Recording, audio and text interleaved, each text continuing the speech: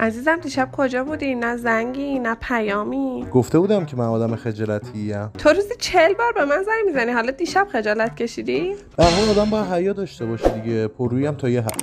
مهدی جان دیشب بازم پنجشنبه بود زنگ نزدی. پیامام و تماسام هم جواب ندادی. دیشب خواهرم رفت تو کما. بابام دیشب حالش بد بود.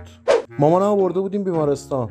با داداشم تصف کرده بود رفته بودیم بیمارستان. چرا تو کل خانوادتون پنجشنبه شب یه طوریشون میشه؟ ما جنبه تعطیلی نداریم آخه. با چی رفته بودی بیمارستان؟ با آمبولانس دیگه. پس با آمبولانس تو مهمونی فرزدینا بودی؟ ببین اون داستان داره.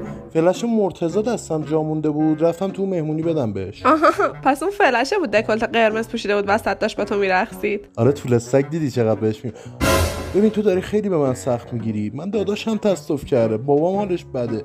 یه ذره کاش منو میفهمیدی. بای. چقدر این پسرا پر